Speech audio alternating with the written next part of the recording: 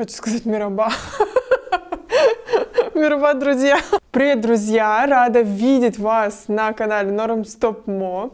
Если вы сюда присоединились, то, скорее всего, вам не чужда творческая деятельность и какие-то креативные профессии. Возможно, вы находитесь в поиске креативной профессии, возможно, вы заинтересовались стоп-моушен анимацией как профессией или как хобби. Здесь о ней будет рассказываться очень много, поэтому обязательно не забудьте подписаться, лайк, колокольчик и так далее. Это мое первое видео, поэтому, пожалуйста, не оценивайте строго мои вот эти вот прикольчики и выкрутасы. Можете в комментариях написать, как это нужно делать правильно. Но давайте для начала немножко познакомимся. Меня зовут Пинчук Женя, и я режиссер, креатор, художник стоп-моушен анимации, называйте как хотите. Все возможные постаси творческого цикла производства стоп-моушен анимации я умею, практикую и буду о них вам рассказывать. В этом же ролике я хочу рассказать чуть поподробнее про такую замечательную, интересную, для, для кого-то, может быть, даже неизвестную, непонятную профессию, как стоп-моушен креатор. Расскажу, что такое стоп-моушен анимация, что нужно для создания стоп-моушен анимации, какими скиллами, возможно, необходимо обладать, да, какие этапы производства стоп-моушен ролика вообще существуют, сколько зарабатывает стоп-моушен креатор и как можно сделать так, чтобы обучиться этой новой творческой и абсолютно увлекательной профессии. Меня там на ютубе уже подписываются первый YouTube ролик записал, я просто выложила в Instagram сторис, что подписывайтесь на ютубчик, скоро у меня будут видео новые.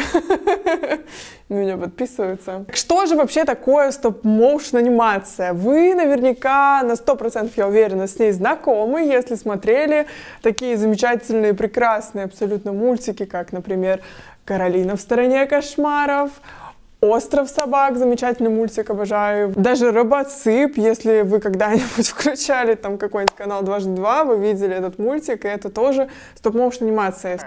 Вот это поворот! Все эти произведения объединяет одно. Это реальные объекты в реальном пространстве, которые кадр к кадру снимают и потом объединяют общим монтажом, чтобы получилось законченное реальное видео, где вот буквально на ваших глазах оживают куклы, декорации и так далее. Конечно, кое-где добавляется графика, кое-где добавляются спецэффекты. По сути, мы с вами выяснили, что стоп-моушен анимация — это покадровая съемка сцен, где для каждого микродвижения, которое совершает наш объект, герой и так далее, нам нужно сделать одну фотографию — на какую-то секунду хронометража нашего видео в среднем уходит 24 кадра. Существует множество техник стоп-моушен анимации и материалов для ее исполнения стоп-моушен можно снимать даже людей, пластилин, бумагу и так далее. Я снимаю в технике предметной анимации, когда использую реальные предметы. В моем случае в основном это продукция брендов и какие-то еще другие атрибуты или э, предметы, которые мы создаем своими руками, чтобы построить настоящую сцену и настоящий новый абсолютно мир. На мой взгляд, основная прелесть и преимущество стоп-моушен анимации перед той же 2D, к примеру, анимацией, это то, что мы в кадре используем реальные предметы, реальные объекты, строим реальные сцены, и мы будто можем потрогать своей ручкой то, что у нас сейчас передвигается и ожило в кадре каким-то образом. За счет этого, конечно же, эта анимация такая уникальная и очень привлекательная. Какова твоя профессия? Профессия стоп-моушен креатора — это взрыв творчества и своего рода, наверное, даже терапия, потому что здесь мы можем порыться по уголочкам и отыскать все грани своего творческого я и на долгие часы погрузиться в этот увлекательный и в чем-то даже медитативный процесс. Профессия стоп-моушен креатора вобрала в себя, впитала, пожалуй, все возможности творческой реализации. Сейчас хочу рассказать вам немножко, чем же занимается стоп-моушен артист, я, мои студенты, как авторы стоп-моушен анимации. На самом деле процесс производства стоп-моушен анимации можно представить просто целой толпой специалистов, и каждый из этих специалистов отвечает за какую-то часть креативного процесса в создании анимационного ролика. Все эти этапы способен выполнять и один человек. Именно так я и начинала свою карьеру стоп-моушен креатора, делая все этапы самостоятельно, но со временем начинаешь делегировать часть креативных процессов на других членов команды команды своего продакшена. Доброе утро, моя курочка. Как вкусный бутербродик на завтрак начинается с хлеба, так и любой контент начинается с идеи. Это, пожалуй, главная составляющая любого контента, любого произведения. И задача креатора на этом этапе сложить пазл из философии, уникальности бренда в какой-то смысловой и визуальный образ. В целом то же самое и с творческими проектами, только там мы складываем пазл из наших эмоций, чувств, переживаний и так далее.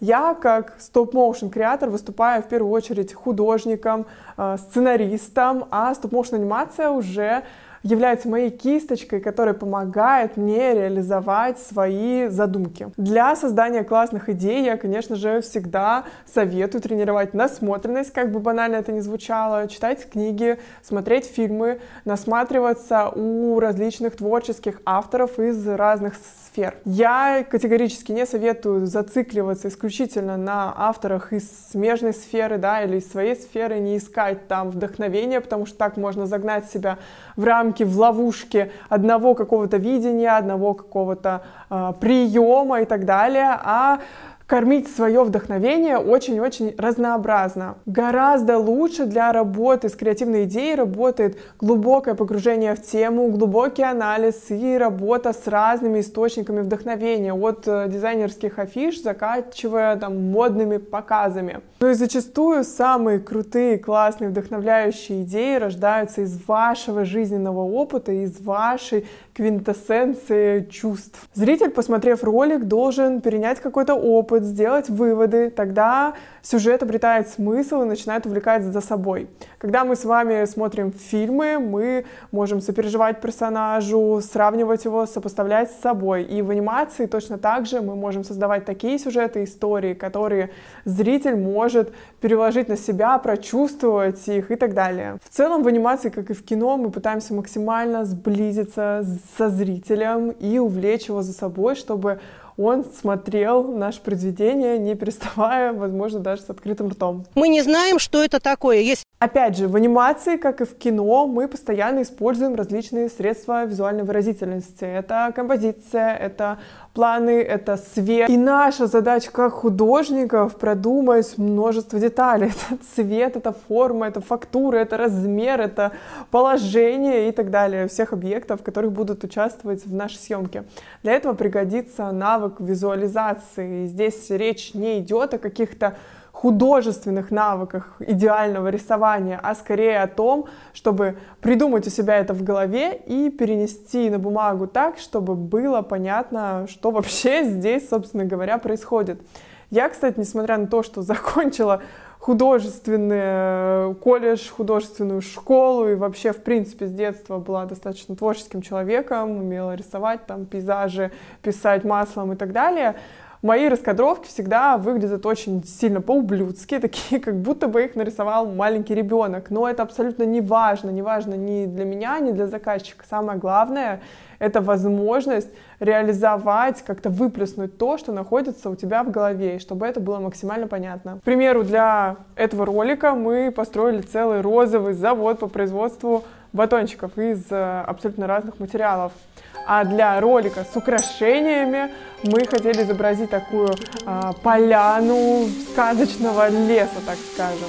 Берем сначала укропу. Иногда быть просто художником мало, и приходится по совместительству подрабатывать инженером. Очень часто в производстве роликов мы сталкиваемся с кучей задач, как сделать ту или иную хрень, из чего ее распилить, закрепить и так далее.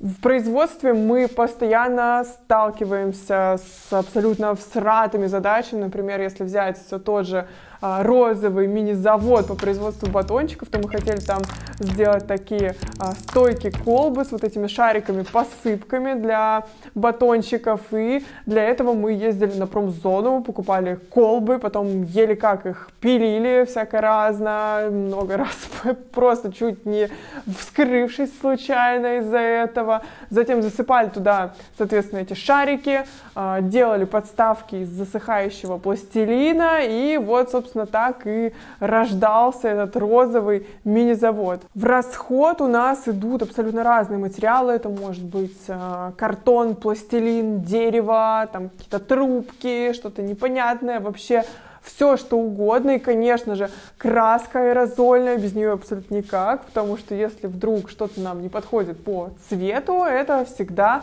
можно покрасить в нужный оттенок. На самом деле ничего особенного, обычная смекалка, и на мой взгляд вот этот этап креативного производства, он самый увлекательный, потому что когда мы собираем эти сцены, когда мы придумываем, как их, из чего сделать, куда поставить, что, где, почему, зачем вообще все это происходит, это просто невероятно увлекательно. Сама по себе анимация — это уже инструмент визуальной выразительности. По сути, мы можем взять абсолютно любой неживой объект и наделить его чувствами и эмоциями такими, какими мы сами пожелаем. Благодаря лишь анимационному движению мы можем сделать так, чтобы наш объект, например, баночка с кремом или мешок с картошкой, был веселым, задорным, прыгал, скакал от радости, а мог быть грустным, волочиться по этому миру с тоской, неприятием себя. Поэтому для создания анимации мы, конечно, столкнемся с основными базовыми законами анимации, ну и какими-то более сложными, интересными штучками производства и постпродакшена, например, съемка на хромакей или работа с ригами. Это такие штуки, которые помогают нам объекты закреплять в воздухе, чтобы они прыгали или левитировали. А я думаю, сова. Анимация, в отличие от видео, на мой взгляд, монтируется чуточку сложнее. Все дело в том, что здесь мы собираем отдельные кадры между собой, а не уже готовые кусочки видео. И здесь еще и к тому же приходит и орет на нас такое замечательное слово, как клинап.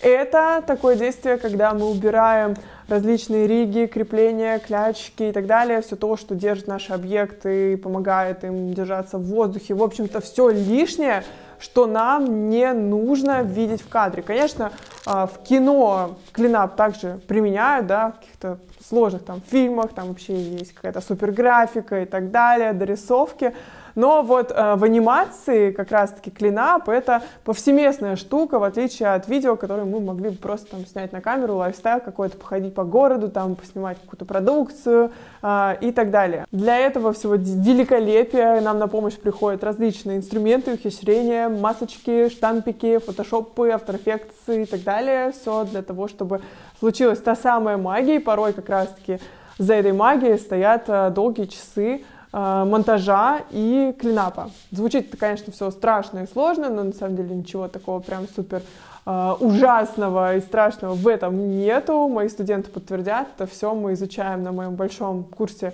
практикуме, всему учимся и потом уже радуемся, что наши ручки волшебные могут творить такое потрясающее великолепие.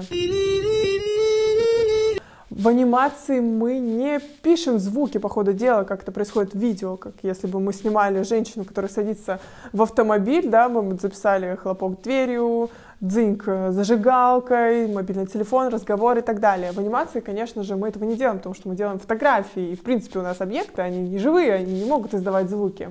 Но для того, чтобы картинка у нас действительно ожила, для того, чтобы мы задействовали все каналы восприятия нашего зрителя, обязательно нужно сделать саунд-дизайн, сделать озвучку.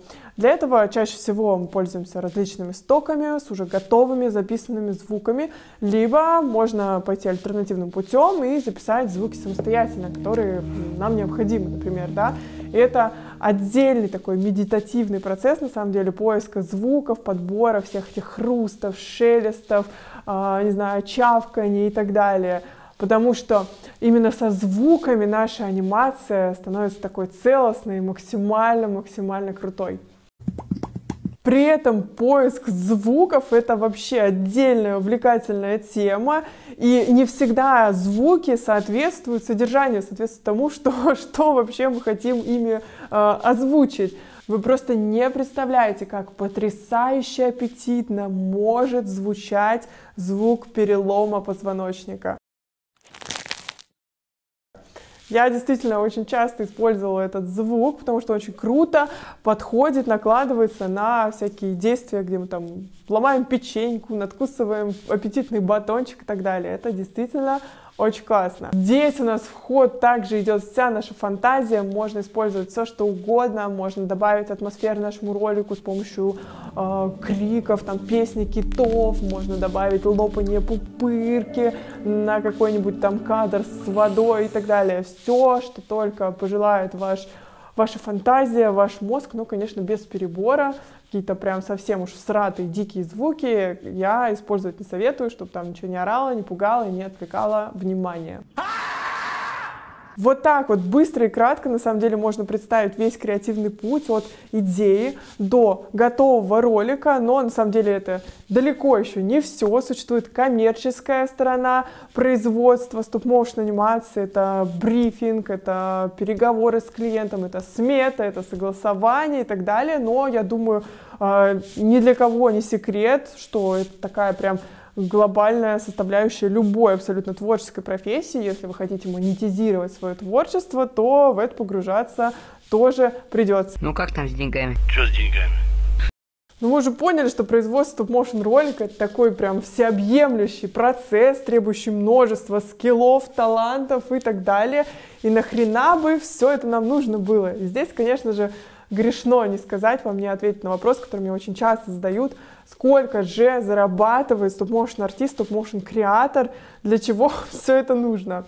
Здесь я отвечу, что э, один проект небольшой, короткий проект в среднем стоит от тысячи, полутора тысячи долларов и больше, в зависимости от сложности анимации, от сложности декорации, от хронометража. При этом средняя зарплата стоп-моушен аниматора за смену начинается от 10-15 тысяч рублей и больше. Смена у нас рассчитывается примерно 8 часов, да, и здесь речь идет исключительно о работе аниматора, да, это не считая того человека, который будет придумывать идею, если это вы, то, соответственно, это будет оплачиваться отдельно, а, не считая монтажа, не считая постановки света на площадке, не считая оборудования и всего-всего-всего. Ну что, мы с вами выяснили, что в целом стоп-моушен анимация довольно крутая, увлекательная и прибыльная профессия, ну и где же вообще учиться-то создавать стоп-моушен анимацию, как просто взять вот так вот и пройти весь этот путь, чтобы стать профессиональным стоп-моушен креатором. Понять, изучить и осознать основные законы анимации можно и из книг, например, «Иллюзия жизни» Фрэнка Томаса или